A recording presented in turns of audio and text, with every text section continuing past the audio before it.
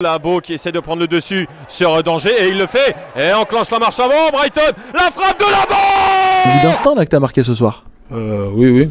Euh, j'ai vu que le gardien était avancé et moi j'ai pris ma chance. Hein. Je pense que c'est la, la, surprise, euh, du moins le fait de l'avoir surpris plutôt que, qui, qui a fait que qu'elle soit rentrée. Exceptionnel but de Brighton Labo pour allumer la flamme, pour raviver le Roudourou.